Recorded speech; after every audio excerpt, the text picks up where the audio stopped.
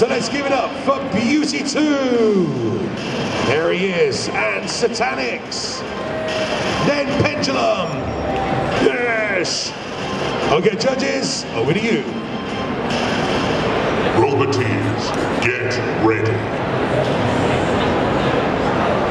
Three, two, one, begin. Who's going to come out fighting? Oh, Beauty 2 does. And Satanix. He's got his, uh, he's got his eye on Beauty 2. There you go. That's how it works. Now, it's very unusual for Beauty 2 to be beaten. He's got that pneumatic lift, which is, can be very devastating to an opponent.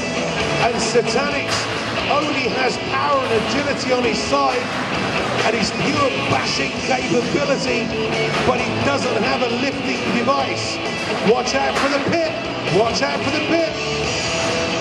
He's very nimble, very fast, and light on his feet. But Beauty 2 has got that little thing. The one thing, the sting in the tail, is that pneumatic lifter. Just bash Beauty 2 into submission? Unlikely. Satanix is really going hell for leather and trying to do as much damage to Beauty 2 as he possibly can. See, I told you there was tactics involved. Here we go, Beauty 2. Stay away from the pit. Oh, now he's exposed.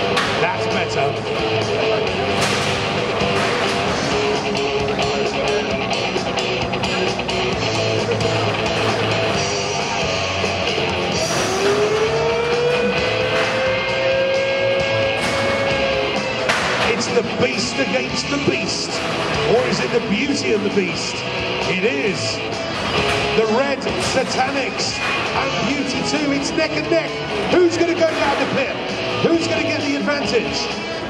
The trouble is, if Satanix gets pushed into the pit, Satanix will not recover. Whereas Beauty 2 can flip himself out. Satanix. Oh my God, no way. Is that a win for Satanix? Yes, it is. Wow.